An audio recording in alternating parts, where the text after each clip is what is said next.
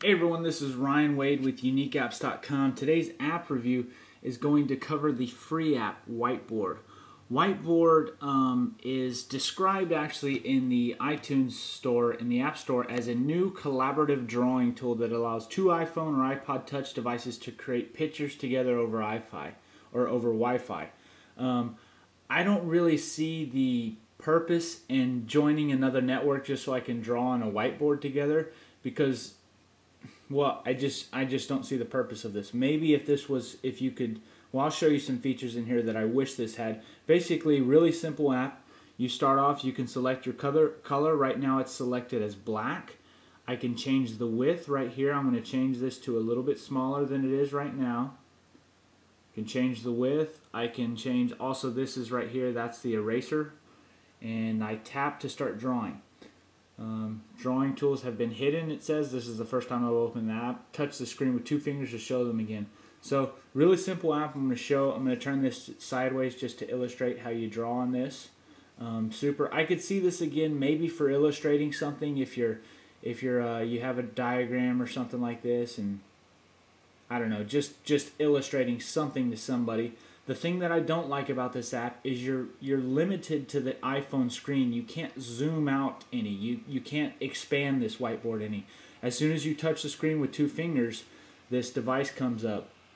Um, now up here, I forgot to show you. This says Ryan Wade's iPhone somebody in order to draw on this on the same whiteboard somebody has to be joined on my um, wi-fi network which again i don't really see the purpose of two people standing on eh, within the same wi-fi network drawing a picture together.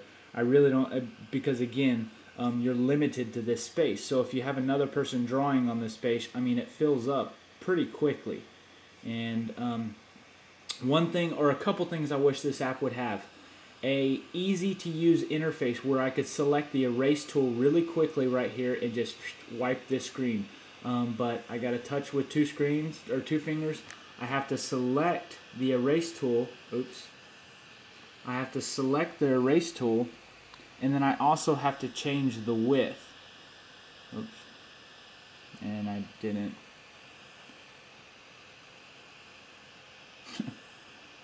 see, as you can see, the usability. I have to change the width.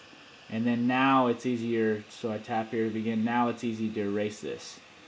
Um, and it's kind of, again, kind of a tedious task just to erase something. And then I have to touch it with two, two fingers, go back to the black, and then zoom back down um, to where I want it. So kind of a cool idea again maybe cool to just to have it's free i mean so you're not having to pay anything i mean you can download this and check this out.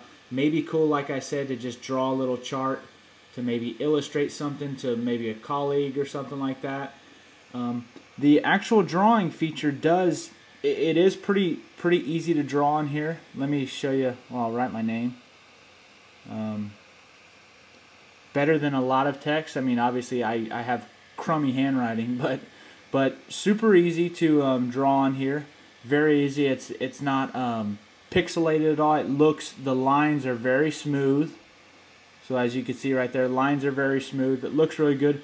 But again, a couple things that I wish this would have is um, I'll go there a way to zoom out so you can you can kind of move images over and you can have a bigger so I can zoom this section out and then also just an easy, maybe a drop down menu so I could just select erase or erase all or something like that instead of having to go back selecting the eraser, um, stuff like that. There are a couple of, well, and then also because this is a free app, it's supported by ads on the bottom. So, so um, that's really the whiteboard app.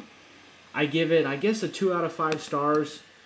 I think it, it can be useful in some situations, but probably just better to have a pen and paper. If you don't have a pen and paper and you're trying to illustrate something, this might be a good app for you.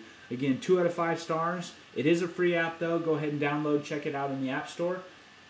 Hope you enjoyed this app. Again, this is Ryan with UniqueApps.com. Please subscribe to my channel, my YouTube channel for um, for more app reviews. Hope you all have a great day.